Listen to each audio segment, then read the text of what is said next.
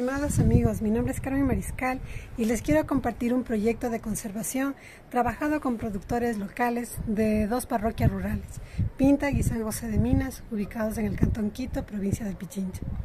Este proyecto nació en la parroquia de Pinta, donde la mayoría de sus pobladores eh, trabajan en la ciudad y únicamente regresan a su pueblo a dormir, a descansar y muy temprano por la mañana regresan nuevamente a la ciudad a continuar con sus actividades.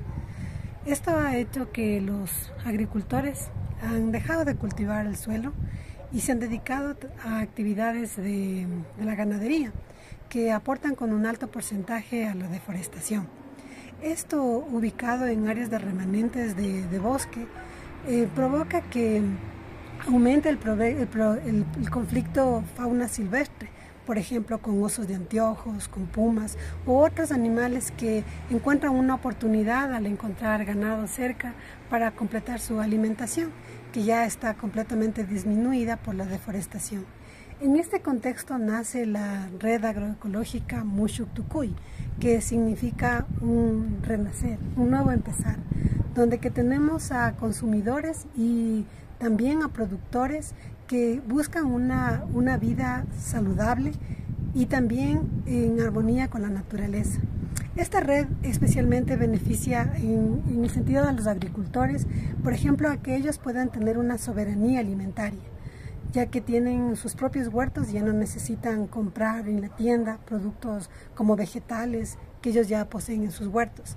También al no usar químicos, la salud del agricultor está, se mantiene y otra, otra ventaja para el agricultor es que ellos eh, pueden em, vender sus excedentes de los productos. Otro beneficiario es el consumidor, debido a que recibe, recibe, productos saludables, que han sido cultivados con agua que viene de las montañas y que también con, se conserva todos los nutrientes del suelo. Además se beneficia porque mantiene un precio justo que no cambia por porque hay una escasez de productos o una sobreproducción. Los precios se mantienen. Y a la vez el tercer beneficiario es la naturaleza porque al no cultivar con químicos, ustedes saben que todos los animales que son, parte del proceso de la agricultura, como por ejemplo las aves, las abejas y otros insectos que también forman parte de este proceso, ellos cuando consumen productos que están con químicos se envenenan y mueren y todo también esto se vierte a las aguas y se forma un ciclo de contaminación. Entonces estos procesos son tan importantes que, por ejemplo, los gobiernos locales también puedan ayudar para que se mantenga esta relación entre el consumidor y el productor.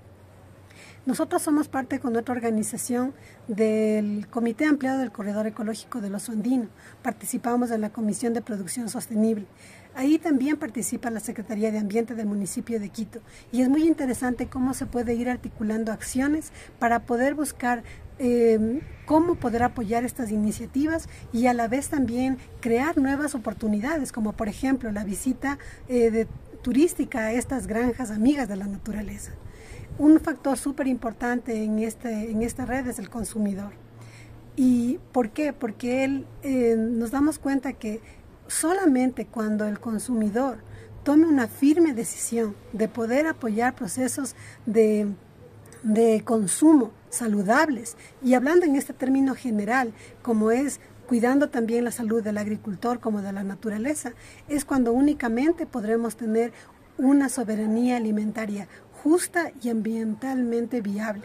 Así que te invitamos a que formes parte de estos consumidores responsables y tu consumo hace la diferencia.